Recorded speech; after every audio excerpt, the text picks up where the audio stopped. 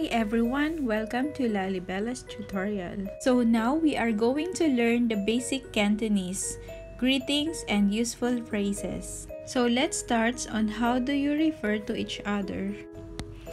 Hello, hello, in informal form. Leho, in a formal form. So when I'm referring to myself, which is I or me, I would say ngo. Now, when you are referring you, you will say lay.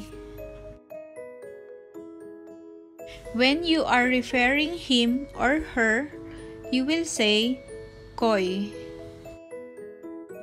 Now, when you're referring them, you will say koi day. Koi means him or her and they refers to many people.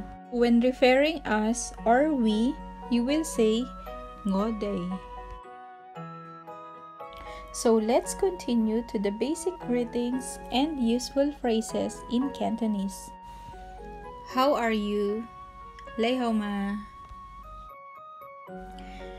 Good morning. Chau san. Good afternoon. Mm on. Good night. Man on. See you later.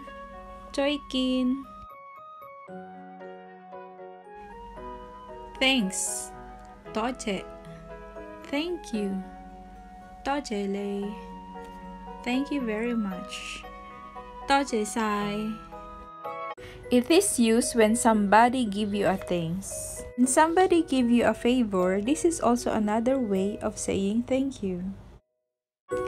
Thank you, Ngoy. Thank you very much. Ngoy sai. Ngoy is used in many ways and lots of meaning, like this one. Excuse me, Ngoy, and it is also using for calling an attention.